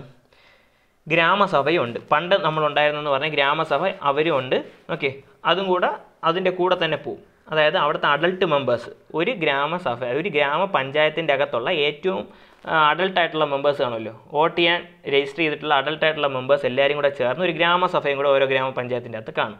അവരുടെ റോളും ഫങ്ഷൻസൊക്കെ ഓരോ സ്റ്റേറ്റിൽ ഓരോ സ്റ്റേറ്റ് ഗവൺമെന്റ് തീരുമാനിക്കുന്നതാണ്. പക്ഷേ ഗ്രാമസഭയുടെ ഫംഗ്ഷൻസ് എന്നൊക്കെ പറയുന്നത്. ഓക്കെ അങ്ങനെ മൂന്ന് ലെയറായിട്ടുണ്ട് അതിന്റെ കൂടെ തന്നെ പ്രവർത്തിക്കുന്ന ഒരു ഗ്രാമസഭയും കൂടെ ഉണ്ട്. അത് ജനങ്ങളെ ഡയറക്റ്റ് ആയിട്ട് പാർട്ടിസിപ്പേഷൻ നടക്കുന്ന ഒരു കൂട്ടമാണ്. അല്ലെങ്കിൽ അവിടെ വോട്ട് ചെയ്യാൻ അവകാശമുള്ള എല്ലാവരുടെ ഒരു ഗ്രൂപ്പിംഗ് ആണ് ഗ്രാമസഭ എന്ന് പറയുന്നത്. ഇനി ഇവിടുത്തെ ഹെഡുകളെ കുറിച്ചുള്ള പേരും കൂടെ ജസ്റ്റ് ഒന്ന് നോക്കാം. അതായത് ഗ്രാമപഞ്ചായത്തിന്റെ ഹെഡിന്റെ പേരെന്ന് പറഞ്ഞാൽ സർപ്പഞ്ച് എന്ന് നമുക്ക് വിളിക്കാം. പ്രസിഡന്റ് എന്നും വിളിക്കാം. ഗ്രാമ ഗ്രാ- ഗ്രാമപഞ്ചായത്ത് പ്രസിഡന്റ് എന്നും വിളിക്കാം. പിന്നെ അതുപോലെ തന്നെ മണ്ഡലിന്റെയും പ്രസിഡന്റ് എന്ന് നമ്മൾ വിളിക്കാറുണ്ട്. പക്ഷേ ജില്ലാ പഞ്ചായത്തുകൾക്ക് സാധാരണ നമ്മൾ വിളിക്കുന്ന ഒരു പേരാണ്. അധ്യക്ഷ എന്ന് പറഞ്ഞൊരു പേര് നമ്മൾ കൊടുക്കാറുണ്ട്. ഇങ്ങനെയാണ് ഇവിടെ ഹെഡുകൾ അറിയപ്പെടുന്ന ഒരു പേര്. ജസ്റ്റ് ഒന്ന് പറഞ്ഞു പറഞ്ഞതേ ഉള്ളൂ ഞാൻ. ഓക്കെ. അത്രയും മനസ്സിലാക്കുക പിന്നെ അവരുടെ ഇലക്ഷന്റെ രീതി എന്ന് പറയുന്നത് ഓരോ അഞ്ച് വർഷം കൂടുമ്പോഴാണ് അവരുടെ ഇലക്ഷൻ നടക്കുന്നത്. ഡയറക്റ്റ്ലി മൂന്ന് സ്ഥലങ്ങൾ ഞാൻ പറഞ്ഞ ഇപ്പോൾ മൂന്നിടത്ത് ഗ്രാമപഞ്ചായത്തായാലും ബ്ലോക്ക് പഞ്ചായത്തായാലും ജില്ലാ പഞ്ചായത്തിലായാലും മൂന്നും ജനങ്ങൾ തന്നെയാണ് ഡയറക്റ്റ്ലി ഇലക്റ്റ് ചെയ്യുന്നത്. പിന്നെ അതിനു മുൻപ് സ്റ്റേറ്റ് ഗവൺമെന്റിന് വേണമെങ്കിൽ എന്ത് ചെയ്യാം? ഡിസോൾവ് ചെയ്യാനുള്ള അധികാരമുണ്ട്. അവർ കറക്റ്റായിട്ട് പ്രവർത്തനം നടത്തുന്നില്ല. പഞ്ചായത്ത് കറക്റ്റായിട്ട് പ്രവർത്തനം നടത്തുന്നില്ല എന്നുണ്ടെങ്കിൽ സ്റ്റേറ്റ് ഗവൺമെന്റിന് അവരെ ഡിസോൾവ് ചെയ്യാനുള്ള അധികാരം ഉണ്ടെന്നുള്ളതും കൂടെ നിങ്ങളതിൽ മനസ്സിലാക്കിയിരിക്കുക. ഓക്കെ? അതാണ് ആ പഞ്ചായത്ത് ഗവൺമെന്റുമായിട്ട് എലക്ഷനുമായിട്ട് ബന്ധപ്പെ- ബന്ധപ്പെടുത്തി വില്ലേജ് പഞ്ചായത്തുകൾക്ക് പറയാനുള്ള കാര്യം. ഇനി ഇങ്ങനെ ഡിസോൾവ് ചെയ്യുകയാണെങ്കിൽ ഒരു സ്റ്റേറ്റ് ഗവൺമെന്റ് ഒരു പഞ്ചായത്തിനെ ഡിസോൾവ് ചെയ്യുകയാണെങ്കിൽ ആറ് മാസത്തിനകം എലക്ഷൻസ് നടത്തിയിരിക്കണം. ഓക്കെ അത് എന്ത് ചെയ്യുന്നുണ്ട്? അത് ഇമ്പോർട്ടന്റ് ആയിട്ട് നടത്തേണ്ടതുണ്ട്. അതാണ് ലോക്കൽ ഗവൺമെന്റ് ബോഡീസ് നിലനിൽക്കുന്നതിന് ഉറപ്പ് തരുന്ന വേറൊരു കാര്യം എന്ന് പറഞ്ഞാൽ അതുപോലെ തന്നെ എഴുപത്തി മൂന്നാമത്തെ അമെൻമെന്റിന് മുൻപ് ഞാൻ നേരത്തെ പറഞ്ഞു ചില സ്റ്റേറ്റുകളിൽ ഇൻഡയറക്റ്റ് ആയിട്ടുള്ള ഇലക്ഷൻ ഉണ്ടായിരുന്നു. അല്ലെങ്കിൽ ഡയറക്റ്റായിട്ട് ജനങ്ങൾ തന്നെ നേരിട്ട് വോട്ട് ചെയ്തുള്ള ഇലക്ഷൻ അല്ല. അല്ലാതുള്ള ഇലക്ഷൻസ് ഉണ്ടായിരുന്നു പക്ഷേ എന്ത് ചെയ്തിട്ടില്ല. പക്ഷേ അഥവാ ആ ഒരു അങ്ങനെ സെലക്ട് ചെയ്യപ്പെടുന്ന ആൾക്കാർ ഡിസോൾവ് ആയി പോവുകയാണെങ്കിൽ അതിനുശേഷം ഇമ്മീഡിയറ്റ് ആയിട്ട് ഇലക്ഷൻസ് ഒന്നും അവർ കറക്റ്റായിട്ട് നടത്താതെയാണ് പോയത്. പക്ഷേ എഴുപത്തി മൂന്നാമത്തെ അമെൻമെന്റിന് ശേഷമാണ് ഇങ്ങനെയുള്ള മെയിൻ ആയിട്ടുള്ള മാറ്റങ്ങളൊക്കെ വന്നതെന്ന് നിങ്ങൾ മനസ്സിലാക്കുക. ഓക്കെ ഇപ്പോൾ ഇലക്ഷന്റെ കാര്യം ഓക്കെ അതാണ് എഴുപത്തി മൂന്നാമത്തെ അമെൻമെന്റ് വഴി വില്ലേജിൽ എങ്ങനെയാണ് ഇലക്ഷൻ നടക്കുന്നതെന്ന് നമ്മൾ മനസ്സിലാക്കി. ഇനി റിസർവേഷൻ എങ്ങനെയാണ് കൊടുക്കുന്നതെന്ന് മനസ്സിലാക്കാം. റിസർവേഷൻ എന്ന് പറഞ്ഞാൽ ടോട്ടലായിട്ടുള്ള എല്ലാ സീറ്റുകളുടെയും വൺ ബൈ തേർഡ് അല്ലെങ്കിൽ മുപ്പത്തിമൂന്ന് ശതമാനം വുമൺ റിസർവേഷൻ ഉള്ള സീറ്റുകളാണെന്ന് മനസ്സിലാക്കുക. മുപ്പത്തിമൂന്ന് ശതമാനം റിസർവേഷൻ വുമണിനുണ്ട് ഓക്കെ അതുപോലെ തന്നെ ഷെഡ്യൂൾഡ് കാസ്റ്റുകൾക്ക് റിസർവേഷൻ എസ് സിക്കാർക്ക് റിസർവേഷൻ ഉണ്ട്. ഷെഡ്യൂൾഡ് ട്രൈബ് എസ് ടിക്കാർക്ക് റിസർവേഷൻ ഉണ്ട്. അവരുടെ പോപ്പുലേഷനെ അടിസ്ഥാനമാക്കിയുള്ള റിസർവേഷൻസ് ഉണ്ട്.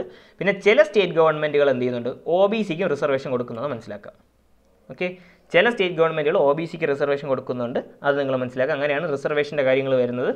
പിന്നെ അതുപോലെ തന്നെ ഓർഡിനറി മെമ്പേഴ്സ് അല്ലെങ്കിൽ ചുമ്മാ ഗ്രാമപഞ്ചായത്തിലുള്ള വാർഡ് മെമ്പേഴ്സ് ആയാലും അങ്ങനെയുള്ള മെമ്പേഴ്സിന് മാത്രമല്ല ഏറ്റവും ഹെഡ് പേഴ്സൺസ് ആയിട്ടുള്ള ഇപ്പോൾ സർപ്പഞ്ച് ആയാലും പ്രസിഡന്റ് ആയാലും അധ്യക്ഷനായാലും ചെയർപേഴ്സൺ ആയിട്ടുള്ള അധ്യക്ഷനായാലും എല്ലാവർക്കും ഈ റിസർവേഷൻ ബാധകമാണ്. വൺ ബൈ തേർഡ് എപ്പോഴും വുമൺ ആയിരിക്കും. പിന്നെ എസ് ടിക്കാർക്കും എസ് സിക്കാർക്കും പോപ്പുലേഷന്റെ അടിസ്ഥാനത്തിലുള്ള റിസർവേഷനും കിട്ടും.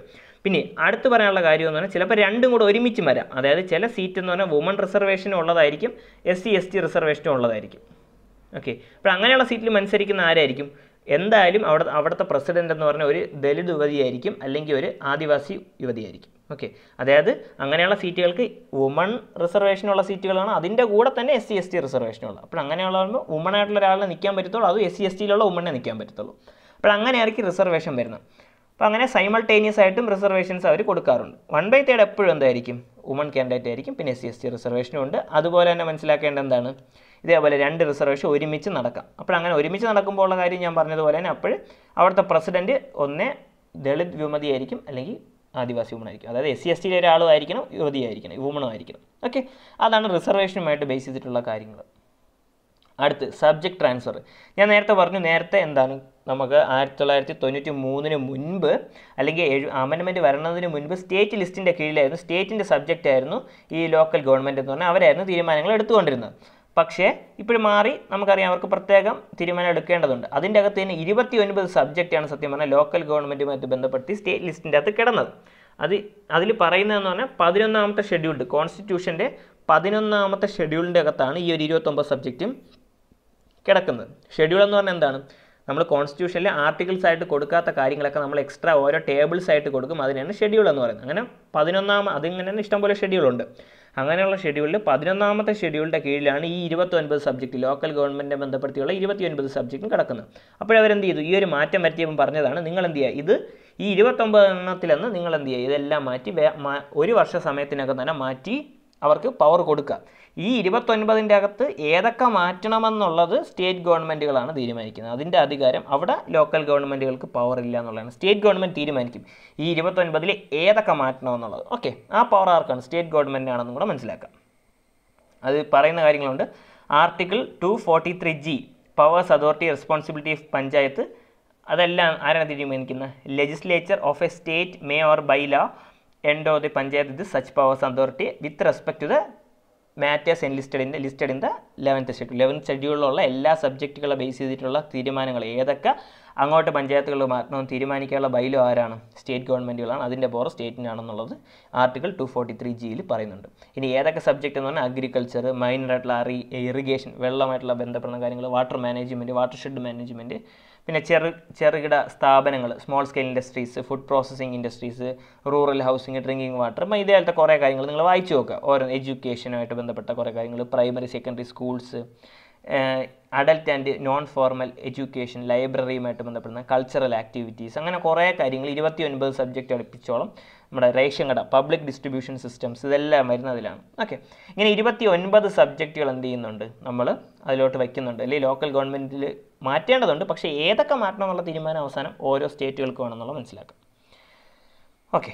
ആദ്യം എഴുപത്തി മൂന്നാമത്തെ അമെൻമെന്റ് വന്ന സമയത്ത് അത് ആദിവാസികൾക്ക് ആപ്ലിക്കബിൾ അല്ലായിരുന്നു ആദിവാസി കമ്മ്യൂണിറ്റീസിന് കറക്റ്റായിട്ട് അത് എത്തിയിട്ടില്ലായിരുന്നു. അങ്ങോട്ടൊന്നും അത് ആപ്ലിക്കബിളായിട്ട് എത്തിയിട്ടില്ലായിരുന്നു. അത് പിന്നീട് പ്രത്യേകം അതായത് ആയിരത്തി തൊള്ളായിരത്തി തൊണ്ണൂറ്റി മൂന്നിൽ എഴുപത്തി മൂന്നാമത്തെ അമെൻമെന്റ് നിലവിൽ വന്ന് മൂന്ന് വർഷങ്ങൾക്ക് ശേഷമാണ് സത്യം പറഞ്ഞാൽ ഒരു സ്പെഷ്യൽ ആക്ട് ഒരു സെപ്പറേറ്റ് ആക്ട് കൊണ്ടുവന്ന് അത് ആദിവാസിയുള്ള ജനങ്ങൾക്കും കൂടെ സ്യൂട്ടബിൾ ആയിട്ടുള്ള രീതിയിലേക്ക് മാറ്റിയത്. കാരണം ആദിവാസി കമ്മ്യൂണിറ്റീസ് അറിയാം. അവർക്ക് കുറേ ട്രഡീഷണൽ ആയിട്ടുള്ള അവരുടേതായിട്ടുള്ള കൾച്ചർ സംസ്കാരങ്ങളുണ്ട്.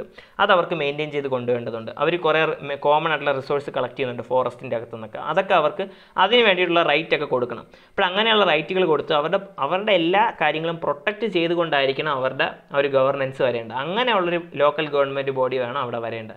അങ്ങനെ ഒന്ന് സെപ്പറേറ്റ് ഇല്ല. ആയിരത്തി തൊള്ളായിരത്തി തൊണ്ണൂറ്റി ആറിൽ കൊണ്ടുവന്നിട്ട് ഗ്രാമസഭകളും അവർക്കുള്ള ഗ്രാമസഭകൾക്ക് കൂടുതൽ ശക്തി കൊടുക്കും. കാരണം അത് അവരുടെ തന്നെ ജനങ്ങളല്ലേ? അല്ലെ ആദിവാസി ജനതകളല്ലേ ചേർന്നിട്ട് അവർ വോട്ട് ചെയ്യാൻ പ്രായമുള്ള ജനങ്ങളായിരിക്കുമല്ലോ അവിടുത്തെ ഗ്രാമസഭയിലുള്ളത്. അപ്പോൾ അവിടുത്തെ ഗ്രാമസഭകൾക്ക് കൂടുതൽ ശക്തി കൊടുത്തുകൊണ്ടും പിന്നെ അതുപോലെ എലക്റ്റഡ് ആയിട്ടുള്ള വില്ലേജ് പഞ്ചായത്തുകൾ ഗ്രാമസഭയായിട്ട് കൂടുതൽ സംസാരിച്ച് മാത്രമേ തീരുമാനങ്ങൾ എടുക്കാറുള്ളൂ. അങ്ങനെയുള്ള കാര്യങ്ങളൊക്കെ തീരുമാനിക്കും. അതുപോലെ തന്നെ അവരുടെ ലോക്കൽ ട്രഡീഷൻസും എല്ലാം പ്രൊട്ടക്റ്റ് ചെയ്തുകൊണ്ട് മോഡേണൈസ് ചെയ്തിട്ട് അങ്ങനെയായിരിക്കും അവരുടെ ഇലക്ഷൻസ് നടക്കുന്നത്. അതായത് എല്ലാ കാര്യങ്ങളും പ്രൊട്ടക്റ്റ് ചെയ്തുകൊണ്ടാണ് ആ ഒരു മോഡേൺ ടെക്നോളജി അല്ലെങ്കിൽ മോഡേൺ ആയിട്ടുള്ള ആ ഒരു കാര്യം കൊണ്ടുവരുന്നത്. അല്ലെങ്കിൽ ഈ ഒരു ലോക്കൽ ഗവൺമെന്റ് ബോഡി എന്ന കോൺസെപ്റ്റ് ആദിവാസികളുടെ ഇടയിൽ കൊണ്ടുവരുന്നത്. അപ്പോഴേ ഡീസെൻട്രലൈസേഷനും കറക്റ്റായിട്ട് നടക്കും. അവരുടെ ഡൈവേഴ്സിറ്റി അവരുടെ വ്യത്യാസങ്ങളെ മനസ്സിലാക്കി കൊണ്ടുപോകാനും പറ്റും. അവരുടെ സ്പിരിറ്റ് ഓഫ് ഡൈവേഴ്സിറ്റി മനസ്സിലാക്കാനും പറ്റും എന്നുള്ളതാണ്. അങ്ങനെയാണ് ആദിവാസി കമ്മ്യൂണിറ്റീസിന്റെ അകത്ത് ഈ ഒരു സിസ്റ്റം മൂന്ന് വർഷങ്ങൾക്ക് ശേഷമാണ് കറക്റ്റായിട്ടുള്ള രീതിയിൽ കൊണ്ടുവരുന്ന ഒരു സെപ്പറേറ്റ് ആക്ട് വഴി ഓക്കെ. അതും കൂടെ നിങ്ങൾ ആ ഒരു പോയിന്റിൽ മനസ്സിലാക്കുക. പിന്നെ ഇലക്ഷനുമായിട്ട് ബന്ധപ്പെട്ട് സ്റ്റേറ്റ് ഇലക്ഷൻ കമ്മീഷൻ അല്ലെങ്കിൽ ഈ ഒരു ഇതുമായിട്ട് പഞ്ചായത്ത് ഇലക്ഷൻസുമായിട്ട് ബന്ധപ്പെട്ട് നമ്മൾ നോക്കുകയാണെങ്കിൽ അത് ഇലക്ഷൻസ് നടത്തുന്ന സ്റ്റേറ്റ് ഗവൺമെന്റ് അപ്പോയിന്റ് ചെയ്യുന്ന സ്റ്റേറ്റ് ഇലക്ഷൻ കമ്മീഷണർ ബേസ് ചെയ്തിട്ടായിരിക്കും. ഓക്കെ. അവരായിരിക്കും ഈ ഒരു പഞ്ചായത്ത് രാജ് ഇൻസ്റ്റിറ്റ്യൂഷൻസ് അല്ലെങ്കിൽ പി ആർ ഐസ് അല്ലെങ്കിൽ വില്ലേജ് പരമായിട്ടുള്ള ഗ്രാമപഞ്ചായത്തുകളിലും എല്ലായിടത്തും ഒക്കെ ഇലക്ഷൻ നടത്തുന്നത് മൂന്ന് സ്ഥലത്തും ഇലക്ഷൻസ് അവരാണ് നടത്തുന്നത്. പണ്ട് ഈ ടാസ്ക് സ്റ്റേറ്റ് ആയിരുന്നു നടത്തിക്കൊണ്ടിരുന്നത്. കാരണം ഞാൻ പറഞ്ഞു ആ ഒരു അമെൻമെന്റ് പറഞ്ഞതിന് മുമ്പ് സ്റ്റേറ്റ് ലിസ്റ്റിന്റെ അകത്തായിരുന്നു സ്റ്റേറ്റ് ആയിരുന്നു എല്ലാ കാര്യവും തീരുമാനിച്ചിരുന്നത്. അപ്പോൾ സ്റ്റേറ്റ് ആയിരുന്നു പണ്ട് ഇലക്ഷൻ നടത്തിക്കൊണ്ടിരുന്നത്. പക്ഷേ ഇപ്പോൾ അങ്ങനെയല്ല. ഇപ്പോൾ ഓട്ടോണോമസ് ആയിട്ട് സ്വയം പ്രവർത്തിക്കുന്ന ഇലക്ഷൻ കമ്മീഷണർ സ്റ്റേറ്റ് ഇലക്ഷൻ കമ്മീഷണറുണ്ട് അദ്ദേഹമായിരിക്കും തീരുമാനം എടുക്കുന്നത്. നിങ്ങൾ ഒരു കാര്യം ഇമ്പോർട്ടന്റ് ആയിട്ട് മനസ്സിലാക്കുക. ഈ സ്റ്റേറ്റ് ഇലക്ഷൻ കമ്മീഷണറും അതുപോലെ തന്നെ ഇലക്ഷൻ കമ്മീഷൻ ഓഫ് ഇന്ത്യയും തമ്മിൽ ഒരു ബന്ധവുമില്ല. ഇവ രണ്ട് ഇൻഡിപെൻഡന്റ് ആയിട്ട് പ്രവർത്തിക്കുന്ന അതോറിറ്റീസാണ് ഓക്കെ സ്റ്റേറ്റ് ഇലക്ഷൻ കമ്മീഷണറും അതുപോലെ ഇലക്ഷൻ കമ്മീഷൻ ഓഫ് ഇന്ത്യയും തമ്മിൽ ഒരു ബന്ധവുമില്ല. രണ്ടും ഇൻഡിപെൻഡന്റ് ആണെന്ന് കൂടെ നിങ്ങളൊന്ന് മനസ്സിലാക്കാം. ഓക്കെ അതാണ് സ്റ്റേറ്റ് ഇലക്ഷൻ കമ്മീഷനുമായിട്ട് ബന്ധപ്പെടുത്തി മനസ്സിലാക്കേണ്ട അടുത്ത് സ്റ്റേറ്റ് ഫൈനാൻസ് കമ്മീഷനെ ബേസ് ചെയ്തിട്ട്. അതുപോലെ തന്നെ ഇതുപോലെ തന്നെ ഈ ഫണ്ടിന്റെ കാര്യങ്ങളൊക്കെ തീരുമാനിക്കാൻ വേണ്ടിയിട്ട് ഒരു ഫൈനാൻസ് കമ്മീഷനെയും കൂടെ എല്ലാ അഞ്ച് വർഷവും സ്റ്റേറ്റ് ഗവൺമെന്റ് അപ്പോയിന്റ് ചെയ്യാറുണ്ട്. ഓക്കെ അതാണ് ഓരോ ലോക്കൽ ഗവൺമെന്റിന്റെയും ഫൈനാൻഷ്യൽ പൊസിഷൻ എങ്ങനെയാണ് തീരുമാനിക്കുന്നത്? എത്ര രൂപ ഒരു സ്റ്റേറ്റ് ഗവൺമെന്റ് ഡിസ്ട്രിബ്യൂട്ട് ചെയ്യണം എന്നുള്ള റിവ്യൂ കൊടുക്കുന്നത്. സെന്ററും ലോക്കൽ ഗവൺമെന്റും കൂടെ എത്ര റിവ്യൂ ഡിസ്ട്രിബ്യൂഷൻ നടത്തണം. പിന്നെ അതുപോലെ ലോക്കൽ ഗവൺമെന്റിൽ തന്നെ അർബൻ റൂറൽ ലോക്കൽ ഗവൺമെന്റുകൾക്ക് എങ്ങനെ അങ്ങോട്ടും ഇങ്ങോട്ടും പൈസ കൈമാറണം എന്നുള്ള എല്ലാ കാര്യം ഫണ്ട് റിലേറ്റ് ചെയ്ത കാര്യങ്ങളും ഫണ്ട് അലോക്കേഷനുമായിട്ടുള്ള ബന്ധപ്പെട്ട കാര്യങ്ങളും എല്ലാം തീരുമാനിക്കുന്നത് ആരാണ്? സ്റ്റേറ്റ് ഫൈനാൻസ് കമ്മീഷനാണ് അവരാണ് ഇങ്ങനെ ഒരു പ്രശ്നങ്ങൾ പൊളിറ്റിക്കലി പ്രശ്നങ്ങളൊന്നും നോ വരാതെ നോക്കി ഇതിനെ നടത്തുന്നത്. ഓക്കെ ഇത്രയും കാര്യങ്ങളും കൂടെ നിങ്ങൾ ഇതിൽ മനസ്സിലാക്കി വെച്ചിരിക്കുക. അടുത്ത് എഴുപത്തി നാലാമത്തെ അമെൻമെന്റ് ആണ് അടുത്ത് വരുന്നത് അത് നമുക്ക് അടുത്ത പാർട്ട് ഓഫ് ദ വീഡിയോയിൽ നോക്കാം. ഇത് ഫസ്റ്റ് പാർട്ടായിരിക്കും വീഡിയോയുടെ ഓക്കെ അപ്പോൾ ഈ വീഡിയോ ഇഷ്ടമെങ്കിൽ ഷുവറായിട്ടും ലൈക്ക് ചെയ്യുക ഷെയർ ചെയ്യുക. മറക്കാതെ തന്നെ ചാനൽ സബ്സ്ക്രൈബും ചെയ്യാം. താങ്ക്